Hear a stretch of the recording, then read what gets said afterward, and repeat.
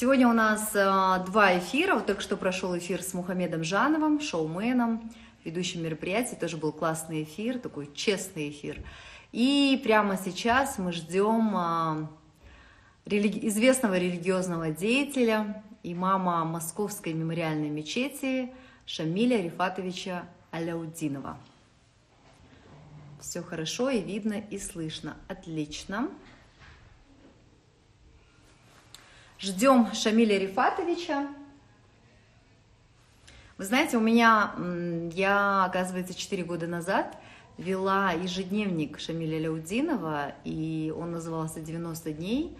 Он был такой очень эффективный. Вот мне что понравилось, я даже сейчас его возьму, наверное, там было четко структурировано твои цели на 90 дней, твои планы на 90 дней, да, то есть у нас же, мы же привыкли там планы там писать, знаете, прописывать такие вот как, как-то, знаете, без э, дедлайна, да, там, хочу там купить машину, хочу купить квартиру, хочу то, хочу это, но без дедлайнов. Когда у тебя есть четко, когда ты четко прописываешь все свои 90 дней, ты знаешь, какой день, что ты делаешь, оказывается, это более тебя лучше дисциплинирует, да, то есть ты а, быстрее и эффективнее добиваешься достигнуть, а, так сказать, тех целей, которые ты перед собой поставил.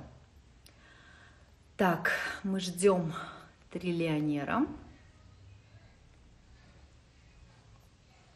Шамиля Аляудинова. Я знаю, что очень много людей были у него на тренингах, на семинарах. Сейчас он проводит вебинары. Но, к сожалению, я не читала книгу. Не знаю, как-то вот у меня не получалось, но вела его ежедневник.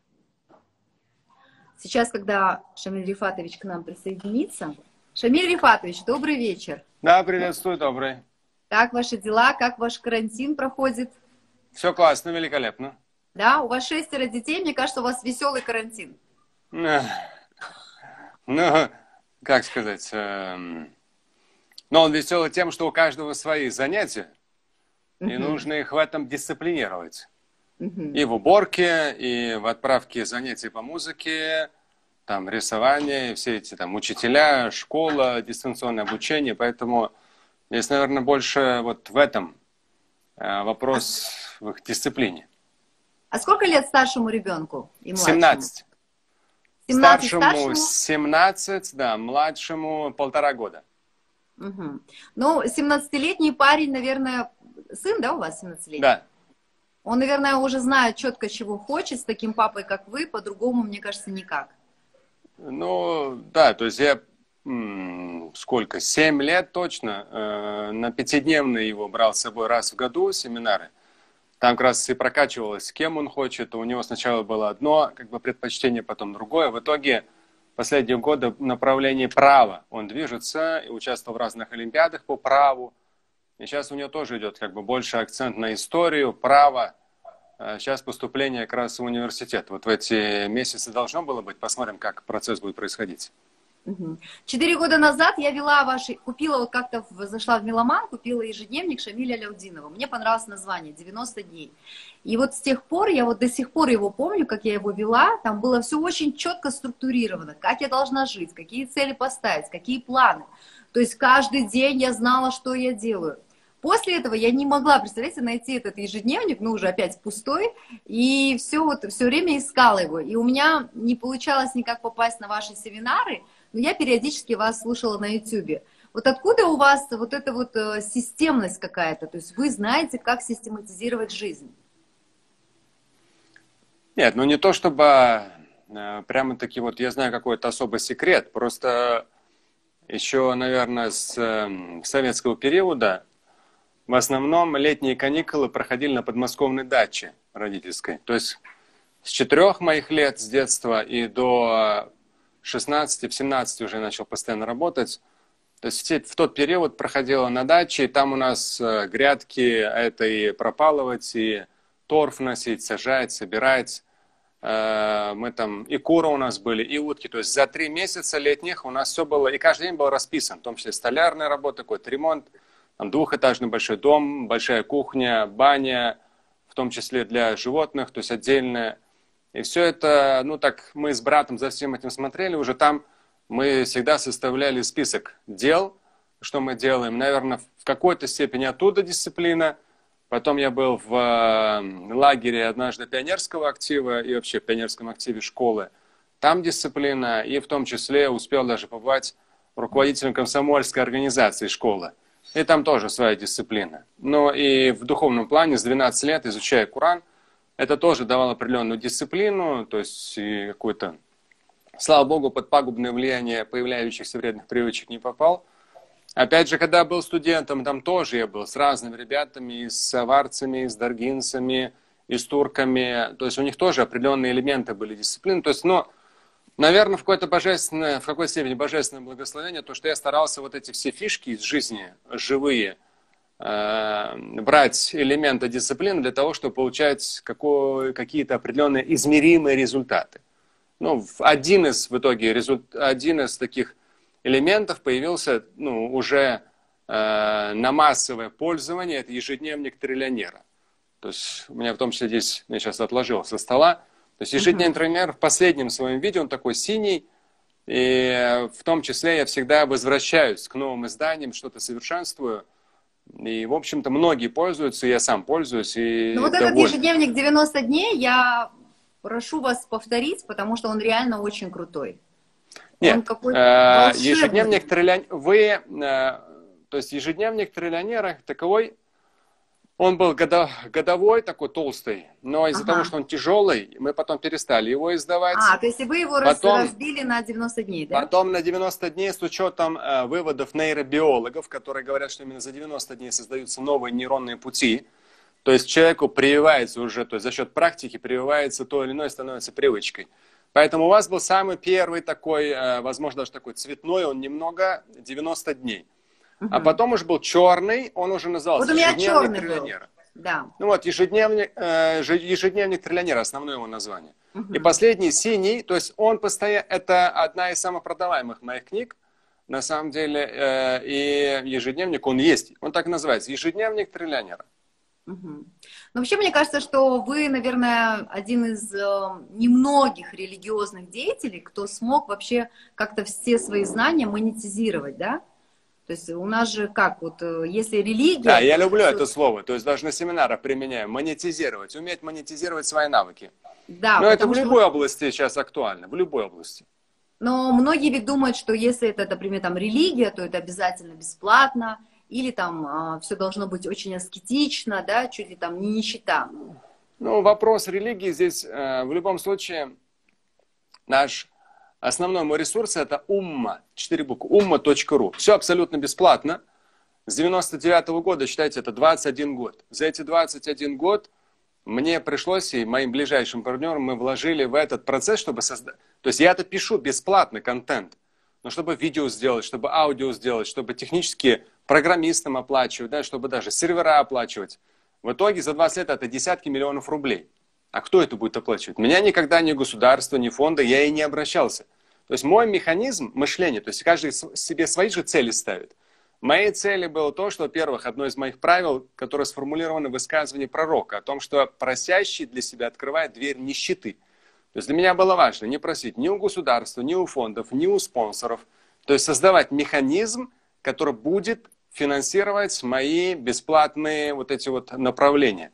Ума.ру и все, что ютубовские ТВ Ума – и в итоге у нас сейчас большая команда, то есть ежемесячно это порядка 700 тысяч рублей, то есть плюс-минус 10 тысяч долларов. Это чтобы mm-hmm. заплатить всем зарплаты. А кто будет это оплачивать? То есть mm-hmm. и с годами у нас команда только росла. Поэтому это живые люди, это у них свои семьи. Как они, с чего это они должны на меня бесплатно работать, создавать, писать этот контент? Безусловно, контентом потом бесплатно пользуются, но есть там 5-7% в общей моей деятельности есть платные. Но это платное, да, семинары, вебинары, но никого же не заставляют туда идти. Да. Или книжка, никого же не заставляют ее покупать. А что касается, когда люди говорят, что это все должно быть бесплатно, но это, как сказать, я так понимаю, что люди, живущие за чей-то счет.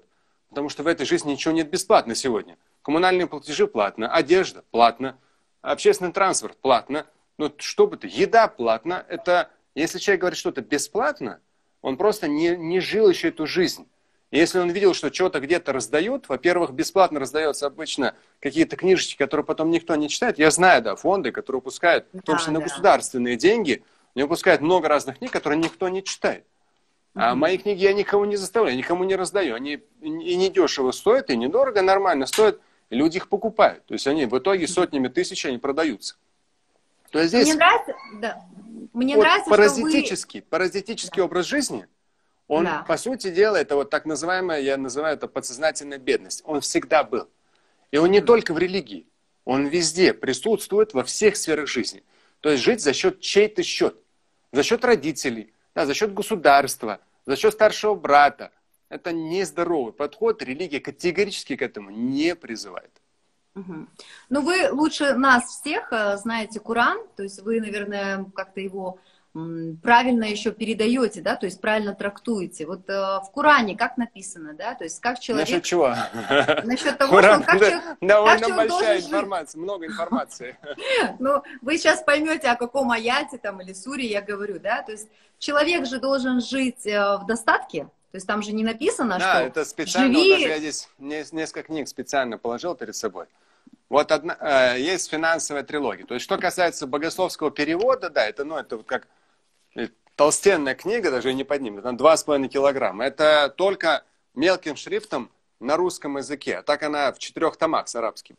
То есть это богословский перевод со всеми пояснениями, актуальными в современных реалиях. В том числе, чтобы человек не ушел в радикализм, да. но с другой стороны вообще понимал в реалиях современности, что к чему, как применить, чтобы стать в итоге умнее, сильнее, набожнее. Но то, что касается бедности, богатства, я-то сам как бы с 86 -го года религиозно практикующий, обычный такой земной человек, который все видит, слышит и понимает, я знал, что эта проблема есть.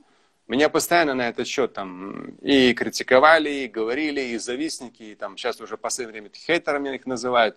Но я специально, чтобы как бы была возможность донести до широкого круга людей, просто сел, поэтапно написал книгу «Финансы триллионер».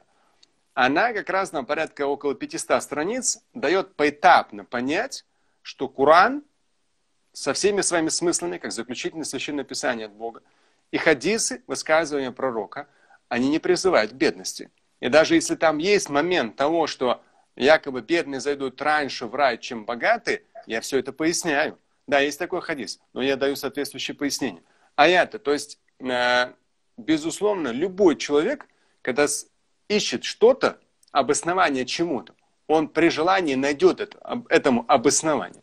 Здесь то же самое. Человек, который хочет обосновать свою, свой паразитизм в таком большом количестве информации, как Куран, или большом количестве информации, как Сунна Пророка, он при желании найдет. Но если говорить вообще о мусульманском богословии вообще, то там подход такой, что да, если даже ты бедный, ты не являешься плохим, но ты обязан стремиться, постоянно в Коране говорится, «Ибтагул ми фадлилля», стремиться к проявлениям божественной милости – а она в том числе в этом материальном мире проявляется в том числе и в форме достатка, богатства, угу. карьеры. Угу. То есть это нормально, да, когда ты хочешь э, быть богатым, и Коран... Не даже наоборот... нормально, это обязательно. Да. То есть это обязательно. в Коране, в хадисах говорится, что ибтагу, вы, ну даже аят в Коране говорится, «Валадина джахаду фина ланахдиеннахум субуляна». То есть те, которые усердны на нашем пути, говорит Всевышний, то есть люди, чухт, это умение выложиться по полной программе. Он mm-hmm. даже одну из книг по э, психологии богатства читал в свое время, там интересно. Мне не понравилось выражение, но оно правильное выражение. Там говорится о том, что богат, то есть нас по-настоящему, не в, как бы на картинке богатый в кредит, то есть по-настоящему богатые человеки, э, богатые люди, они там идет, работают как проклятые. Выражение плохое, соглашусь. Но, я, но то есть, я соглашусь по факту. То есть, сам работая ну, на постоянной основе с 90-91 года, за 30 лет, в самых разных ситуациях, обстоятельствах, то есть я знаю, что на самом деле, чтобы ты чего-то добился, и не просто добился, а потом лишился, а постоянно поднимался выше, ты должен реально работать очень много. Но так как большинство не хотят вот так вот выкладываться, им нужно, конечно же, обосновать, что вот там эти им должны, те им должны, эти плохие, другие плохие. Ну, извини, как бы ты ищешь обоснование своей лени, это твоя проблема. Mm-hmm. Поэтому даже порой в мечети, когда бывали случаи, человек ко мне подходит, вот я смотрю, он примерно мой ровесник. Угу. Ну, может, там выглядит постарше, но по сути... И вот он говорит мне о какой-то своей проблеме, что им нужно финансово помочь. Я смотрю на него и думаю, вот интересно, вот ты дожил до своих, например, там 40 лет. А что ты до этого делал? А где твои друзья? Где твоя семья? Где твое окружение? Это что, там эти какие-то 2, 3, 5 тысяч рублей? То есть ты до 40 лет ты должен быть каким? Таким гнилым, плохим, гадким человеком, что вокруг тебя никого нет – да, то есть ты за, за свои 40 лет не то чтобы не заработать, у тебя даже окружения нет, которое бы тебя да. уважало бы и дало бы тебе эти 2-3 тысячи какие-то рублей, потому что ты оказался в какой-то безвыходной ситуации. Тем более сегодня это э, платеж человек может получить там несколькими нажатиями с любой точки мира. Ему не нужно именно вот так вот деньги передавать. Поэтому, но с учетом принципа Паретта 80-20, к сожалению, большинство, они подсознательно бедны. Они постоянно, даже когда у меня на странице что-то появляется, что что-то там должны, религиозные деятели должны, медики должны, политики должны. Вот эти подсознательные бедные постоянно все кто-то должен. А о том, что они должны, они об этом не думают. А вечером спокойно смотрят там новости или какой-то очередной сериал. Вот и все. О том, что они должны свое мягкое место поднимать, они об этом не думают.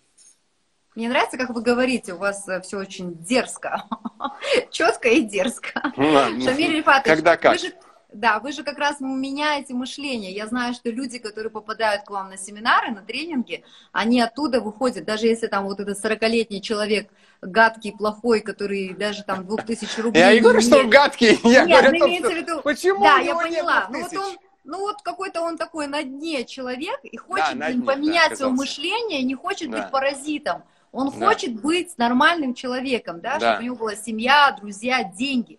И да. он приходит к вам на семинар. Вот как он не придет ко мне на семинар, потому что, чтобы прийти на семинар, это стоит не, не дешево. Но для него есть, и даже вот у меня часто подписчики говорят, у вас очень много бесплатного контента.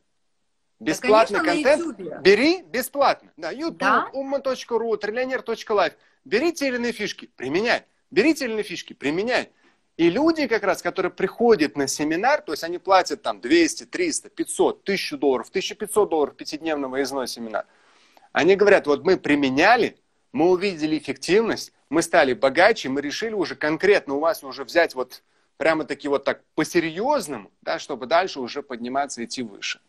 Ну вот э, совсем ленивые все равно приходят к вам, и они хотят, чтобы вы вот приш... за день, чтобы вы им тык поменяли сознание, и они оттуда вышли такие, все, я поменяю свою жизнь. Вот, но у вас это получается. Но здесь в любом случае, даже если однодневный, я вот последние года два, то есть в августе 2019 года уже не ездил на однодневный, не летал, а до этого полтора года очень много летал однодневный, в Казахстане проводил. Но я всегда людей предупреждаю, учтите, говорю, вот однодневный, да, он и стоит там 30 или 40 долларов, а мы целый день с вами вот так вот работаем, то есть я там прыгаю, ору, кричу, то есть заставляю вас задуматься, да, вот так вот растрястись. Но в то же время, я говорю, учтите, это будут в первую очередь эмоции. Эмоции. Потому что если вы хотите, вот даже сейчас, сегодня у нас был из шести вебинаров шестой, завершающий вебинар, это забег 45 дней. И я людей изначально, когда даже продавал два месяца до этого этот вебинар, я людям говорил, послушайте, вот мы с вами будем в забеге 45 дней, первые две недели ваш мозг будет сопротивляться. И они потом мне уже писали, да, на самом деле, да, на самом деле. И я говорю, вот мы будем конкретно прокачивать его две недели, и потом только он начнет впитывать информацию. А сегодня уже, когда шестой был, я говорю, послушайте, вот ваше старое ленивое «я», то есть нужно понять, что то, что у нас сегодня есть, оно вот наше достижение прошлого. Если вы хотите изменить окружение, измените себя. Но учтите, вы должны конкретно проработать свое новое «я». Это вам еще 6-8 месяцев работы с тем, что я вам передал за эти дни. И вот когда уже люди работают, даже за 45 дней, столько восторженных отзывов, там, комментариев, вау, я не думал, что у меня там за три недели этот э, забег за 600 долларов окупится. Ой, я не думал, что такой будет эффект. Хорошо, значит, человек был подготовлен. А тот, кто не был подготовлен, все равно я говорю, придется пахать конкретно, прежде чем вы увидите измеримый результат. Вот ну, жизнь такова. Вот этот джухт, который, аят, который я процитировал, «Валядина джахадуфина». Джухт – это вот самоотверженный труд. То есть, когда человек полностью себя чему-то отдает, неважно, это наука, культура, политика, учеба, там, финансы, неважно, он реально вот вникает, он входит в этот процесс, он годами, ну, то же самое, 10 тысяч часов, да, Это порядка 10 лет, чтобы стать более-менее мастером, Мастером. своего дела. Да, да. И вот человек вникает, вникает, вникает, сосредоточенно, там в аяте идет, мы откроем им благословенные пути. То есть Всевышний говорит, на каком-то этапе туф, им откроется не один путь, а даже вариант. Много, да? Но, Вообще Коран Таких- это вообще бизнес-книга, да? таких всего один, прописано. но таких, учтите, кто доходит до такого проявления божественной милости, таких только 1-3%. Кто за самые высшие уровни берет, 1-3%. Шамиль Рифатович, я честно признаюсь, я пыталась читать Куран, но у меня плохо получилось на русском языке.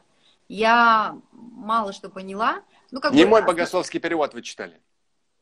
Вот ваш перевод я не читала. Вот, Да, поэтому у вас нужно- так получилось. Да, и я прочитаю обязательно, но вот смотрите, можно Нет, сказать, там что... много нельзя читать, только по две страницы в день. Окей, прочту. А, я человек такой, знаете, тоже настырный, я этим займусь. Но можно сказать, что вот вы же, вот все, все ваше учение, все ваши знания, вы же берете из Курана? Базис, то есть весь изначально, когда мы запускали в 2010-2011 проект «Триллионер», это везде обозначалось мусульманский коучинг. Даже потом я заметил, некоторые тоже начали мусульманский коучинг, мусульманский коучинг, но не смогли вытянуть ситуацию. Это все не так просто, то есть запускать. Да, там все пропитано аятами, хадисами, мусульманскими ценностями. Вся важность в этом, потому что центрально, с чем я работаю все эти годы, это аяты и хадисы. То есть все вот эти вот красоту смысла постараться раскрыть, с одной стороны, с другой стороны, провести с параллелью, как человеку это применить. Поэтому, Мгм. когда мои книги читают, людям нравится, они как бы так, как научные работы. Ссылка, сноска, такой-то аят, такой-то хадис, такой-то богословский источник. И в том числе параллельно, если брать триллионерную тематику, вот э, 9 книг по триллионерной тематике, отдельная серия, то там везде идет такая-то книга по нейробиологии, такая-то книга по психологии, то есть там идут, в кавычках, это все сочетается между собой. Мгм. Это очень интересно. Вот скажите нам, а мы сейчас, по сути, все проходим такое испытание, да, то есть все в самоизоляции, мир, в принципе, да, сейчас весь на, в самоизоляции, на домашнем карантине. Вот что в Коране написано об испытаниях, да, вот э, вообще человек должен проходить испытания в своей жизни?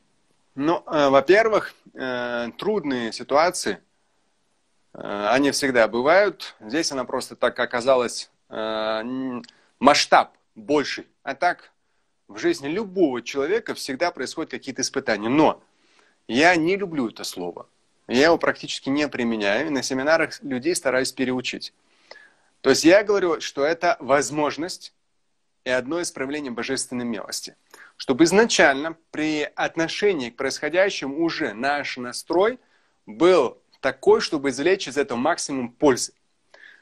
Да, ля тубляунна. В Коране постоянно вот это ля тубляунна фи амваликум анфусикум. Вы непременно будете испытуемы.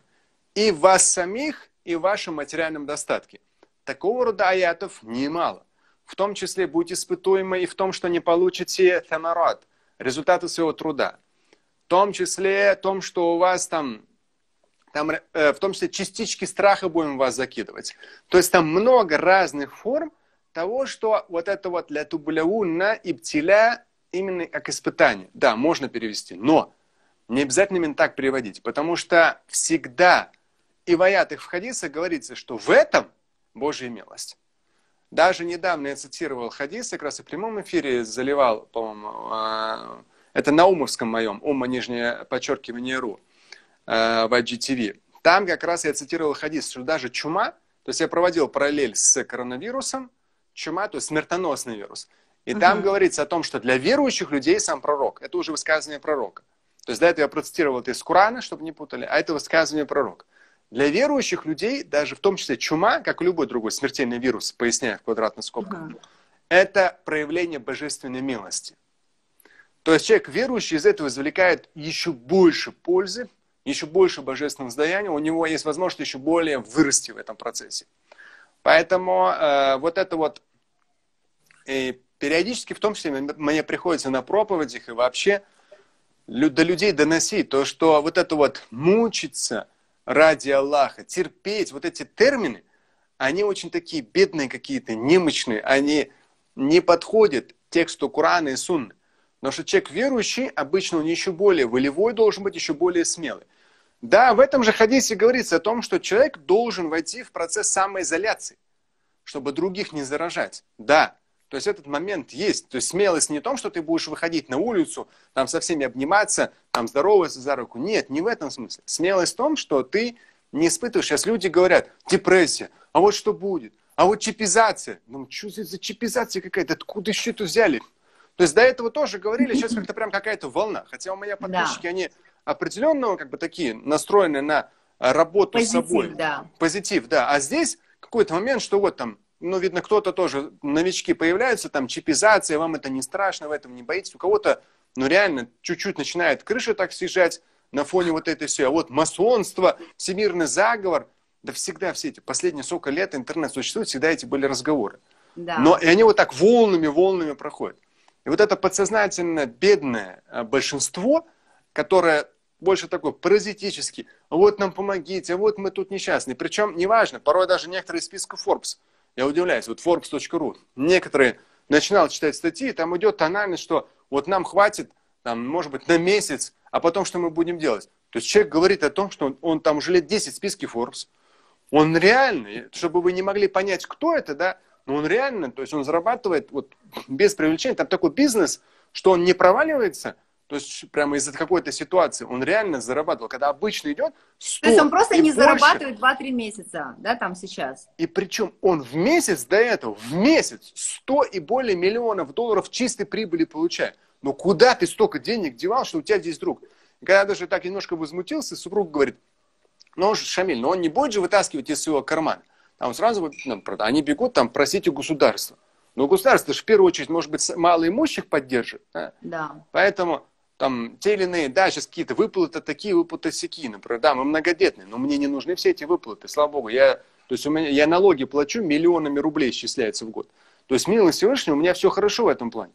Но у меня есть такое направление, там сотрудники, такое направление, там сотрудники, еще что-то. То есть это все нужно продумывать. И вот так провалились резко в яму это те, кто все тратил, потому что он думал, что всегда так много будет зарабатывать. Они mm-hmm. все тратили, поэтому некоторые российские миллиардеры яхту за 600 миллионов евро, однажды Forbes пишет. Значит, надо умудриться заказать себе яхту за 600 миллионов евро. То есть, или еще что-то, еще что-то, еще что-то, а когда вдруг провал, они, они все закредитованы почти на 100%. И ты же за месяц не только зарплату должен заплатить, а еще по кредитам еще должен выплатить. И потом хоп, и провал. И все, помогите мне, пожалуйста. Какой помогите? То есть одно это там человек, который получает зарплату в регионе 20 тысяч рублей, он там, ему добавляют там 5 тысяч может, рублей помощи. А ты тут просишь 1 триллион, потому что у тебя там вдруг провал, потому что... Ну, а назад прокрути, как ты жил до этого, как ты тратил mm-hmm. до этого. Но чем больше человек зарабатывает, тем, а, мне кажется, тем, может быть, он с годами просто становится жаднее. Ну, ну нет, нет, нет. Опять же, здесь... Э, нет, на самом деле... Здесь суть... Да, ну, мне кажется, нормальные люди понимают, что сейчас карантин, никто не зарабатывает, но э, все нормальные, адекватные люди должны были какой-то запас э, денег иметь, да? Во-первых, запас, да, и даже сейчас, как бы в любом случае, автоматически должен быть механизм. Про один из детей, то есть милость Всевышнего, я хорошо и зарабатывал, у меня хорошие инвестиции, в 40 лет, мне сейчас полных 46, когда мне было 40, милость Всевышнего, с точки зрения математической, и диверсификации рисков я мог больше вообще не работать в своей жизни. То есть это с точки зрения моих инвестиций. Поэтому это, опять же, по определенным статистикам, то есть есть статистики у Forbes, у других, у третьих, я не вхожу в список Forbes, нет, но есть статистики богатых людей. И вот по этим статистикам я вхожу в этот как раз топ-1. Но опять же, то есть мое состояние, оно исходило из доллара к доллару. То есть я не какие-то там на какой-то сделке большую сумму вдруг заработал. Оно вот так, доллар к доллару. Но когда доллар к доллару, как у Баффета, он просто так миллиардером не стал, он занимался финансами, но 30 лет жил в одном и том же доме. Угу. У нас же у пси... бывшего, Советского Союза такой психологии нет. Ты заработал, купи еще больше виллу. Заработал, обнови автомобиль. Заработал, бизнесом летай. Заработал, больше, джетом летай. Себе Боинг купи. Да, то есть один только джет. Эксплуатация полтора миллиона долларов в год. Это еще без ремонта. Да, и без оплачивания там пилотов и так далее. То есть вот люди совсем... Баффет, с чего это он так просто? Mm-hmm. У него было в 20 лет там 20 тысяч долларов. И только после 50 у него за миллиард перепрыгнул. Почему? А он постоянно реинвестировал. Моя формула тоже. 80, 10, 10. Слышали про нее? Нет, не слышали. Да вы что? Шамиль Рифатович, я прошу прощения, я не успела прочитать. Вот вы знаете, а, меня, меня интересует, да, вот все-таки в Коране что написано про, программа... про прагматичность, да, то есть вот вы говорите, там, заработал человек деньги, он пошел, купил себе еще больше дом, заработал деньги, купил еще одну машину, заработал Это нездоровое, деньги. нездоровое отношение. То есть а, вот в какой момент а, Всевышний возьмет и отрубит себе все это? Нет, такого момента нет. Угу. Нужно в любом случае понимать, что в этой жизни механизмы, в том числе зарабатывание день, денег, успеха, они распространяются абсолютно на всех. Даже, возможно, в какой-то степени э, где-то акцент на неверующих в большей степени. Почему? Потому что прямо в хадисах прописывается о том, что даже неверующему Всевышний за его благие дела воздает в этой жизни. То есть так как человек не верит в потусторонний мир, в жизнь после смерти, там он ничего хорошего не получит. Он не верит в Бога. Там он ничего не получит. Но чтобы Бог перед ним в долгу не был, за любое его благодеяние ему достатком, здоровьем, благополучием возвращается здесь. Это прямо четко прописано в Хадисе. Для человека верующего, да, его благодеяние приумножается как минимум в 10 раз, они возвращаются ему в этой жизни, возвращаются в вечности. Поэтому здесь, но э, сказать о том, что там отрубит, Опять же, плохой термин. Заберет. Отберет. Нет, нет, нет. То есть нужно понимать, что э, любой человек, неважно, плохой он или хороший, или хороший, у него все этапами в жизни. Да. Но верующий человек, он всегда во всем, даже в этапе падения, он извлечет максимум пользы. Даже когда сложности, он извлечет максимум пользы. А вот в ответе почему? Я до этого сказал. Потому Почему что он изучает верит. максимум? Потому, потому что он... Потому что он в этом видит возможность, всей да? своей сутью, да, возможности и божественную милость. Вот, Все. правильно. В его отношении он прямо вот, если это бизнесовый человек, то он вообще прям, ему еще интереснее становится. Мгм. Это же говорят, самые лучшие сделки с точки зрения бизнеса, это когда самый глубокий пессимизм. Все уже разочаровались, все, все, рынок никогда не восстановится, цены никогда не восстановятся. Самое время заключать самые выгодные сделки.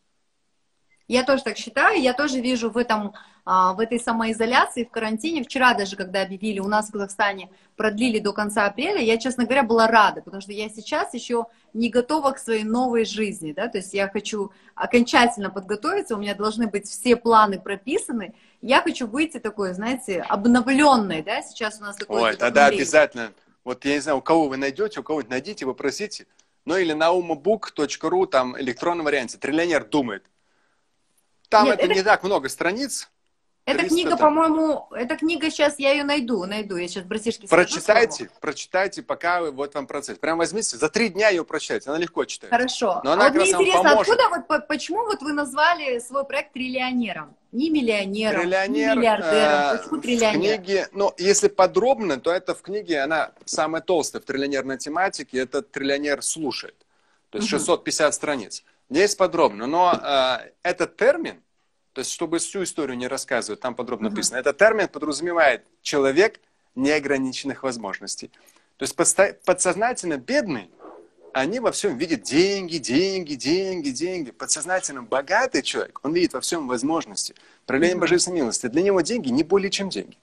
Триллионер, сам термин, подразумевает то, что ты человек неограниченных возможностей. Еще до триллионерной тематики, до появления, первая книга «Триллионер слушает», она вышла, первое ее издание было в 2012 году. Потом Мгм. постоянно она пересдается сейчас. И до этого, до этого я постоянно применял. Триллионер слушает сам. Мой брат звонил, он говорит, как дела? Я говорю, ну, то есть вот он, я, он говорит, алло, я говорю, триллионер слушает. Он говорит, как дела? Я говорю, ну, на 30 триллионов долларов. Мне это было интересно, мне как-то это понравилось. У этого своя предыстория, миллион, миллиард, триллион. Но я вкладываю этот смысл, э, в том числе поверить в безграничность божественной милости и неограниченность человеческих возможностей. И потом на одном из семинаров, это в Казани как раз было, здесь в начале это письмо, в начале этой книги тренер слушает, а один человек мне присылает письмо и говорит, вот, например, у Генри Форда есть такая-то книга «Моя жизнь, мои достижения». У Брэнсона, Ричарда Брэнсона, есть такая-то книга, так, черту все, берись и делай. А почему вам не написать книгу «Триллионер слушает»? К вам многие прислушиваются, И вот вы бы как бы написали книгу о себе. Но я решил не о себе писать книгу, а вот там как раз вот там начали собираться вот эти все триллионерные фишки, чтобы человек, читая, открывал и внутри себя, и во внешнем мире все большее количество возможностей, начинал все больше верить в себя, как человека неограниченных возможностей, триллионера. Супер. Вы знаете, что я заметил? Я вот сама, к сожалению, намаз еще не читаю, но вообще хочу читать. Мне кажется, это Всему время маленькие шажочки. Да. Ну, я очень люблю вот атмосферу в мечети, когда ты приезжаешь. Вот я все время смотрю на... Ну, вот я захожу в женскую зону, и, честно говоря, завистью на них смотрю, потому что я не понимаю вот все эти вот э, движения. Ну, вот меня бабушка А ничего учила. сложного. Да. Ну, вот хочу. А, и заметила, знаете, какую тенденцию, что вот э, мои друзья, знакомые, которые читают намаз, они вообще живут без страха, у них нет страха. То есть они какие-то бесстрашные. Эм, здесь какой нюанс? Во-первых, нужно понимать, что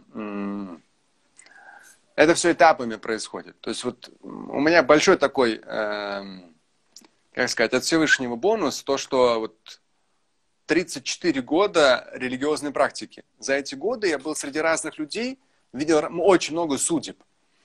Порой люди изначально как бы все бесстрашно, все так категорично, Маша, Алла, иншалла, брат, сестра там и так далее. Но потом как-то все это начинает ломаться, и куда-то непонятно, куда уходить. Э, и тематики там вторых жен, и тематики еще какие-то непонятные. То есть как-то там кто-то начинает совсем закрываться от мира, uh-huh. там, паранжой. То есть поэтому здесь то есть я вот так вот прямо однозначно не говорил бы о том, что те или иные слова, выражения указывают прямо на то, что человек бесстрашен. Бесстрашен это когда вот ты столкнулся реально с очень сложными ситуациями э, на работе, в жизни, там тот же самый коронавирус, да, там разные. И тебя вот реально начинает поджимать с разных сторон. Финансово, психологически, да, те же самые там хейтеры, да. То есть, ну, что-то вот начинает поджимать. И вот, и вот здесь говорит твое глубокое внутреннее я, твое нутро которое, по сути дела, должно быть на этом уровне в связи с Богом, оно должно быть очень разумным, очень спокойным, взвешенным и четко бить в цель, прямо четко бить в цель.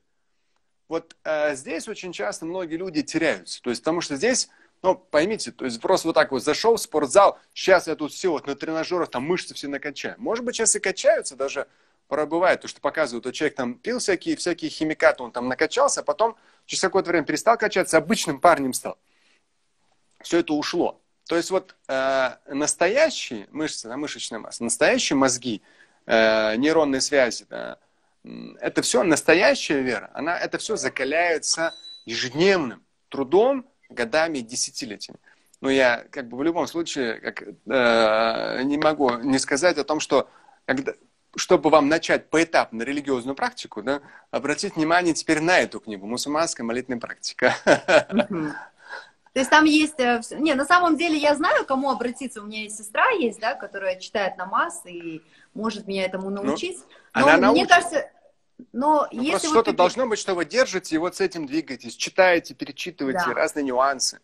Но на самом деле это так круто же, когда у тебя, вот мы сейчас говорим, там, а, коронавирус, надо медитировать, да, то есть намаз, это же, по сути, у тебя шесть раз в день ты, на, ты медитируешь. Да, пять раз. Ой, пять, пять раз в день ты ну, медитируешь. Важно. Да. Но в любом случае не просто медитируешь самим собой, я это называю связь с Богом.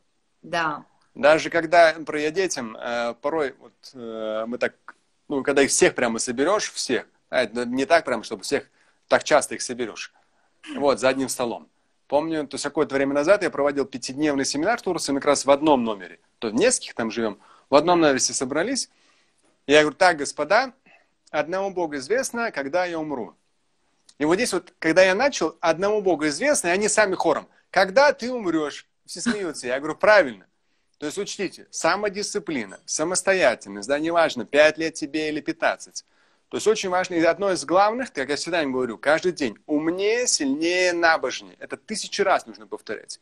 И умнее, в любом, в любом, сильнее, набожнее. Да, каждый день. Умнее, я, я спрашиваю, что это? Читать книги. Угу. Сильнее это что? Фитнес, то есть какой-то да. спорт. Физические допот. упражнения. Да, обязательно. Хоть в домашних условиях. Набожнее это что? Молитва намаз. Хотя бы обязательно ее часть. То есть я говорю, что если у вас будет связь с Богом, а молитва это связь с Богом, то неважно, живы родители, умерли родители, если у вас связь с Богом, то вы никогда не пропадете. Потому что я не раз сталкивался, людей консультировал, 30-40 лет, умирает кто-то из родителей. А человек уже, по сути дела, взрослый дядя, тетя, 30-40 лет, очень сильно был привязан к своему там, отцу или матери. Угу. Все, человек входит в глубочинную депрессию и не может выйти. Таблетки он просто только заглушает эти угу. симптомы, просто становится, даже однажды ко мне один человек подошел, не могли бы поговорить с моей женой. Вот она вот стоит, приятный человек, такая все, она молодая, 30 с небольшим. Все аккуратно одет там по-мусульмански, все симпатично, модно. Я говорю, что случилось? Он, и он мне до этого сказал, он, он, она лежит на диване целый день, как кусок мяса. И это у нее уже продолжается больше года. Я спрашиваю, когда у вас это началось? Она говорит, когда умерла моя мама. У меня, как бы вот, у меня, да, было там, была карта желаний, да, я хотел достичь этого, то, но все было привязано к маме. Когда она умерла, я потеряла смысл вообще жизни. Человек верующий. Видите, то есть вот это вот родители не передали привязанность к Богу. Угу. И вот эта связь с родителем, матерью и отцом была настолько, что он просто потянула ко дну этого человека. Угу. Все, я вас поняла. Это, ну, на самом деле, конечно, к этому нужно еще прийти. Я очень люблю вообще сама любые намоленные места. Вот, кстати, вот у меня к вам вопрос, да, как у мусульманки к мусульманину. Я люблю, ну, то есть там путешествовать. И люблю все намоленные места, там, буддийский храм, я не знаю, там, церковь, да. У нас э, многие вот мои там друзья, казахи, говорят, что, там, нельзя посещать чужие, это же чужая религия, чужие, чужой бог, да, там, особенно в Индии, там же у них вообще, э, зайдешь в храм, у них там бог такой, бог стекой, бог Ганеша, бог там этот. То есть вот что вы думаете по этому поводу? Нет, здесь нужно понимать, что они вам говорят, то есть они немножко... Э как сказать, во-первых, очень много и в интернете, и в жизни такого народного верования, народного ислама, и в современных реалиях э, интернета там преобладает запрет. То есть на вс- всю запрещают, везде видят ширк, ну, как бы язычество и так далее. Если говорить о канонах, то э, ширк э, один из самых больших, ну, по сути, самый большой грех – это приравнивание кого-то к уровню Бога. Но вы же посещая там тот или иной храм, вы этому не поклоняетесь. Ни иконе, ни какому такому богу и так далее. То есть вам интересна вот эта тишина храма, ну, как вы говорите, ну, там, намоленность, еще что-то. То есть вот эта вот атмосфера. А эта атмосфера бывает в музее, да, она может быть там э, в театре каком-то, э, эта атмосфера может быть в том числе в храме. То есть это ваше состояние души, оно уже с учетом в лесу, да, вот лес, природа, тишина.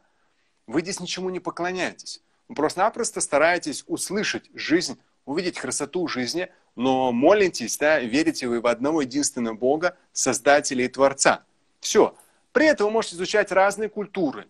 Здесь mm-hmm. вот такая культура, там такая. Вот мы в Таиланде неоднократно проводили пятидневные э, семинары в Паттайе, там мусульманский mm-hmm. район есть в оздоровительном центре. И то есть там у них столько этих всяких человечков, столько всяких статуэток. Едешь из аэропорта, там, я не знаю, кто это, что, ну, то есть местный какой-то колорит. Да мне какая разница-то? То есть, ну, я никакого смысла обожествления в это не вкладываю, абсолютно.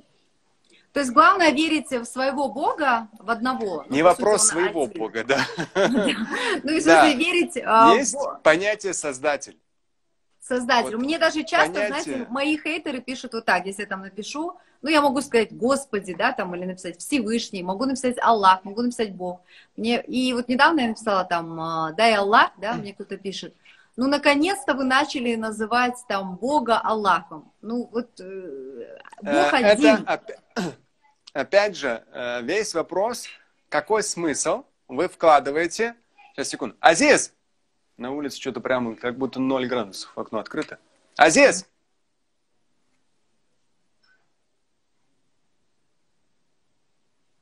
Ну иди сюда. Закрой окно. Если у нас как раз окно, э, окно в стене. Закрой окно мое. Хорошо иметь шестеро детей. Кто-то окно закроет, кто-то пульт принесет. Нет, однажды, однажды был такой анекдот. Один э, человек с Кавказа, он говорит, вот, говорит, у меня там двое сыновей, мне не нужно этот телевизор включать. Да, да. То есть они подойдут, включат или пульт, еще что-то, то есть как бы мой пульт.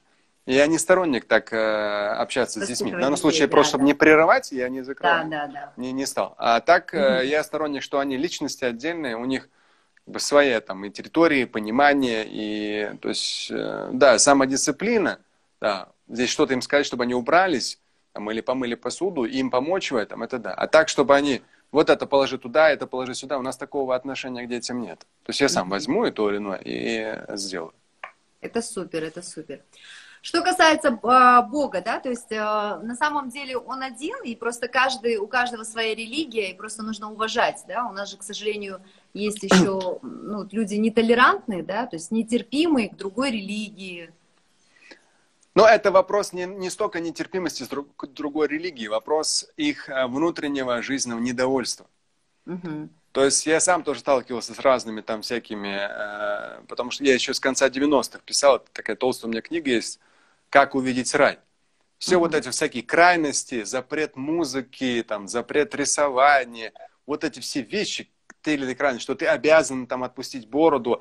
Я расписывал все это канонически с точки зрения аятов и хадисов. Пожалуйста, хочешь так, пожалуйста, там, запрещай себе музыку, но не говори, что она в исламе запрещена. Хочешь подлиннее бороду себе отрастить, да, пожалуйста, отрасти какую угодно. Но не говори, что любой мужчина должен отращивать бороду, иначе он не мусульманин. То есть для меня это, это на самом деле такие темы э, непростые. То есть ты выставляешь себя такой, привлекаешь на себя очень сильный удар. Но мне было абсолютно без разницы, потому что с зрения богословия все там один в один, с ссылками, сносками, аяты, хадисы, все там четко. Хотя понимает, что большинство это э, невежественное, но они как бы думают очень поверхностно, так называемое туннельное мышление. Поэтому здесь, в этом вопросе тоже лишний раз, да, не, э, не раздражать может быть, но вопрос Аллах в арабском языке, слово Аллах состоит слово с точки зрения языковой из двух частей. Определенного артикля и слова илягун. Илягун – это Бог боже- божество. Вместе получается Аллах, определенный Бог. И Богу в Коране четко сказано, «Лейса камитли шей». Нет ничего подобного ему. То есть его вообразить, представить, наш ум не в состоянии. Мы эту галактику-то не изучили до конца, уж тем более там соседние. Мы еще на Марс не съездили, ни на Луну толком не поймешь, слетали или нет. То есть мы еще только изучаем тот мир, который вокруг нас. И вирусов, которые там появляются, пусть даже нами созданные, возможно. Да. Поэтому здесь понятие Бог, Творец, Создатель, э, я сторонник особо не переходить в какие-то словесные моменты изложения, когда мне даже хотят к этому притянуть. То есть я четко что-то поясняю или вот цитирую из Корана. Нет ничего подобного ему. Все, не надо. А Бог может, а Бог не может. Послушай, как-нибудь Бог сам разберется, он все, аля кули шейн кадыр, он все может, да. Но вот, вот эти вот всякие философии, финансовая философия, в семейных делах, в религиозных делах, очень много философов. Философов в финансах – нищий. Философов в семейном, сами конкретно, несчастные. Там, у кого-то по две-три жены и постоянно только делают, что грызутся. Это как вид только делать, что несчастливы. А в итоге, там, однажды одного человека консультировал, он говорит, у меня, говорит, да, у него, а, у него очень большой достаток. И он специально оплатил консультацию со мной. Он говорит, вот у меня две жены, 11 лет, они меня просто пилят и пилят, пилят и пилят. Я должна быть единственной. Ну, ты взрослый дядя, он моего возраста. Ты же сам понимал все эти последствия. То есть, по сути дела, но при этом человек может, да, там говорит, все это классно, так, там еще Да, что-то, да. мужчина там создан, чтобы чего-то, как-то. Но послушайте, вот э, нужно понимать, что то или иное, дети, да, семья, финансы, религия, бери вот полезное, что тебя делает умнее, сильнее, набожнее. Бери, познавай. У нас сегодня люди хавают информацию, ничего не применяют. Сплошные философы. Поэтому э, вся и триллионерная тематика в том числе. Человек духовная основа, но при этом в том числе материальные ценности. То есть человек должен быть и здесь успешен, и здесь у него на это возможности есть. И религия, наоборот, ему только помогает в этом. Мгм.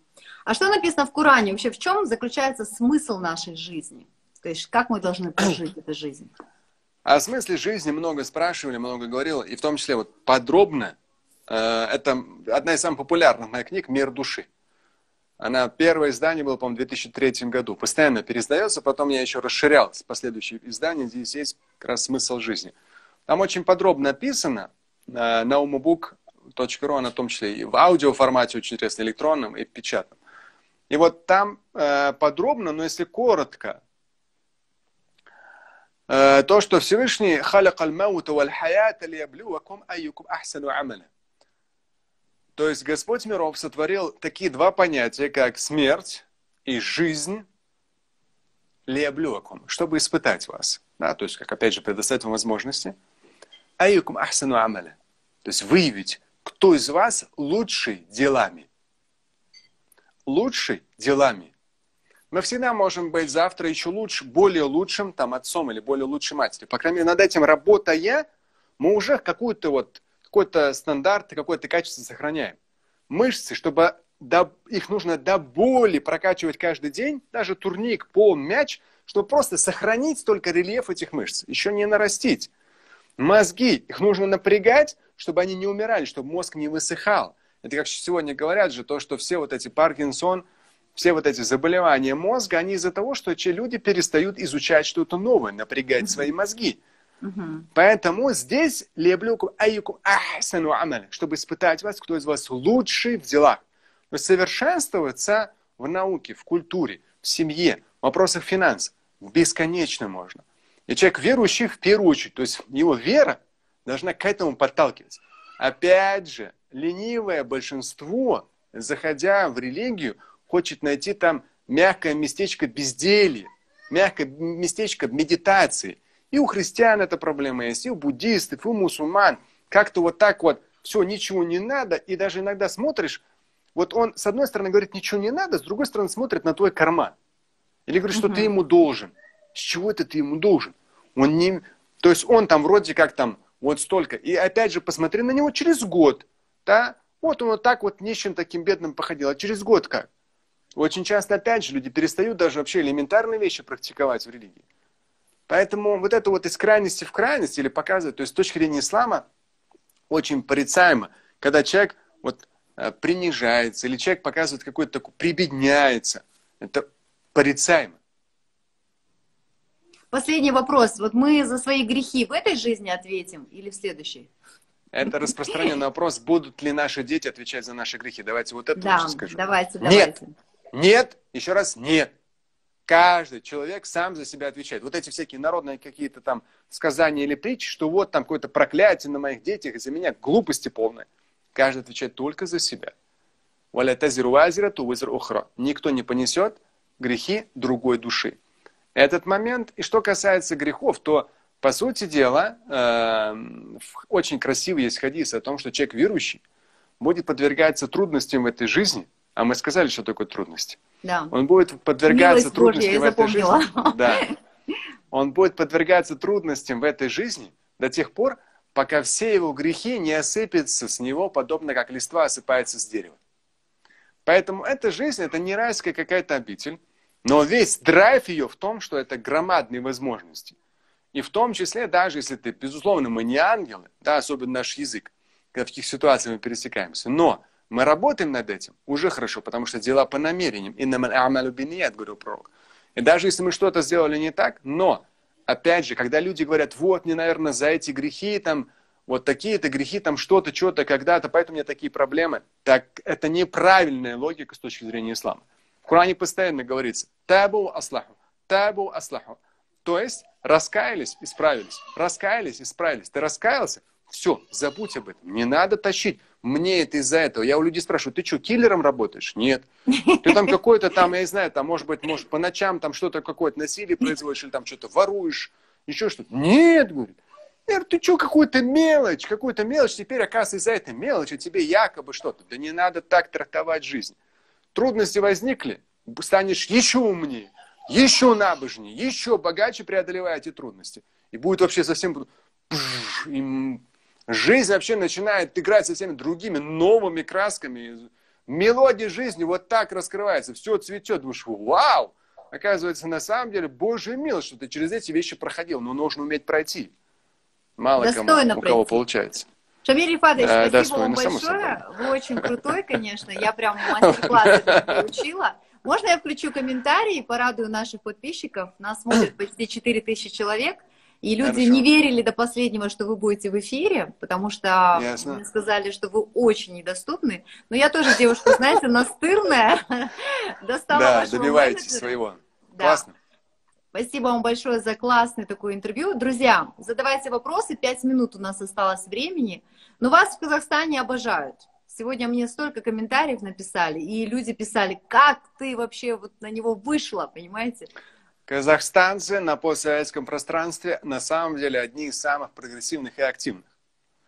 То есть вот это вот порой волна бывает где-то, которая там где-то в Европе начинает что-то хаять Казахстан, сами же где-то бывшие казахстанцы. Чего-то, чего-то, это нездоровый подход. Вот те, которые вот казахстанцы, я постоянно разных. В Нью-Йорке я проводил двухдневный, прямо на Бродвее мы Мариот арендовывали. Там были казахстанцы тоже на семинаре. В э, Паттайе в Таиланде, в Дубае проводил, там тоже казахстанцы были. То есть в разных даже странах, когда проводил, казахстанцы, когда были, вот у них у всех присутствует элемент, во-первых, патриотизма, во-вторых, конкретного стремления вот достичь большего, достичь лучшего. В этом вопросе они просто молодцы. Поэтому, наверное, вот так вот как-то просочеталось. Да. Как вам пришла эта духовность? Вот вы же, э, вы сказали, сколько лет? 30, больше 30 лет, да, занимаетесь? 34 года, но в 12 лет. Года. Э, тогда, 86 год, это была одна деревянная мечеть в Москве на проспекте Мира возле Олимпийского комплекса. Как раз мама меня туда сводила. И ее такой посыл был, чтобы защитить меня от какого-то пагубного влияния, вредных привычек. Поэтому мне услышали, мне это на самом деле сработало. Я никогда не пил, не курил, каких-то вредных вещей у меня не было. Поэтому вот тогда некий такой первый шаг. И потом договорились, что были уроки, я частные уроки брал. И вот так поэтапно, постепенно. То есть я был и активистом в школе, пионерским, потом комсомольским. В то же время духовная составляющая, она параллельно тоже двигалась. Угу. Спрашивают, почему бороду можно убирать? Можете привести доказательства? Эта книжка, вот у меня сейчас просто под рукой нет, я не стал брать тут это. Как увидеть рай? Либо на umma.ru заходит, э, umma 4 буквы, .ру, в поиске на сайте «Борода». Там прям богословский материал, все мнения ученых, какие ссылки, какие хадисы, все, ну просто до мелочей. Пишут, эфир мощный, но он реально мощный, его нужно сохранить, скачать и залить еще а, в... В IGTV в IGTV. Спрашивают, как начитать намаз, если знаешь только русский язык? Не, послушайте, вот э, огромное, даже вот наши прихожане, огромное количество людей, которые в 50-60 лет научились вот при мне, я последние 23 года имам мечети, научились вообще, они не, не, буквы не могли, не знали, что такое алиф, лям там, не знали. Научились в оригинале читают Коран, не понимают, нет, но таджвид, правила чтения Корана научились спокойно читать. То же самое, как я сказал, там мусульманская молитвенная практика. Там же для молитвы это буквально там с десяток молитвенных формул. Они одни и те же читаются. Там все повторяется. Ничего сложного. Даже вот формат, эта книжка, чем она примечательна? Она писалась на основе вопросов людей. То есть там не какие-то такие вот сложные богословские, а вот человеку в этой ситуации как быть, в этой ситуации, в том числе научиться. Человек уличится молитву, по ней прямо смотрит, есть транслитерация. И арабский, если перевод, это транслитерация. То есть научиться несложно абсолютно. Но а где можно купить нюанс. все ваши книги? То есть где-то вот есть сайт, где вот все ваши книги продаются? Ну, основное это э, Уммабук. То есть всего у меня книг 32 за эти годы. Постоянно переиздающиеся 21. Основной сайт официальный интернет-магазин это Уммабук, пишется вместе. Уммабук.ру. Угу. Да, уммабук.ру. Там, если книги, и электронный формат книг, и печатные, и отдельные книги есть в электронном формате. Супер. Так Там вот, доставка книги, по да, всему ваши? миру. Да, угу. основная часть, да. И доставка по всему миру. Поэтому здесь вот... Э, а, нюанс. Учтите, молиться просто с мольбой, обращаться к Богу, мольбой, можно на любом языке. Это тоже часто уточняют. На любом языке. То есть, не, ну, не зная даже, например, как правильно молиться, ты просто молишься, просишь просто Бога... Просто вот сидишь, садишься там, или стоишь, или идешь, просишь Бога о том или ином. То есть молитвенная практика, нужно понимать, там есть определенные нюансы, которые единящие. Вот приедете вы в Мекку, люди на разных языках говорят, но молятся, совершают одну и ту же молитву. Это угу. единящий фактор. Но в то же время каждый обращается с мольбою к Богу на своем языке, уже вне обязательной молитвы. Главное, чтобы это было искренне от всего сердца. Ну, это как бы вот, э, мы с вами говорили, работа с душою да. со своей сутью – это долгий процесс. В Коране говорится о том, что порой, когда у человека проблемы, то он прибегает к Богу, у него такая длинная молитва. А когда у него все хорошо, он бочком-бочком уже от Бога уходит. Поэтому здесь, да, когда у человека проблема, у него такая искренняя молитва, ой-ой-ой. Но здесь вот эта искренность, это постоянство. Постоянно наша связь с Богом. Шамиль Рифатович, спасибо вам большое за эфир. Я просто боюсь, что Инстаграм нас сейчас через час, он обычно вот так выключает резко. Да-да-да, он выключает. Я очень вам благодарна. Вы реально Ладно. очень крутой. И благ- Ладно, благодарна вам за то, что вот вы свой, а, все свои знания а, вот как-то упаковываете, да, системно. То есть там в книге Дай у бог. вас есть книга про, там, про Бо, я не знаю, Да-да-да. вот, то есть все-все-все как-то вот, я не знаю, правильно структурировано. И, друзья, подписывайтесь все на Триллионера и, да, заходите на Ума Триллионер.лайф. Понял. Trillioner.life, Ummabook, там можно купить книги, ума. Ummabook.ru, да. Ummabook.ru. А, Да, ummabook.ru. Книги umma.ru. Это просто богословский сайт, ответы на все богословские вопросы. И последний вопрос, когда будете в Нур-Султане? Даст Бог, иншалла, в э, осенью. Осенью. Ну все, мы вас ждем, я буду первая, Ладно, кто спасибо. придет на ваш э, семинар. Ладно, хорошо, Может быть, к спасибо. этому всем благ. времени уже выучу, а, буду читать намаз. Вообще будет круто. Спасибо большое, да. Спасибо, Так что друзья. вам еще что больше подписчиков, и чтобы у вас все цвело, благоухало, и только рост, только вверх. Рахмет, ауминь, спасибо. Аминь. Спасибо большое, друзья. Подписываемся на триллионер.лайф. Шамиль Аляудинов сегодня был вместе с нами. Спасибо большое, до Спасибо. свидания.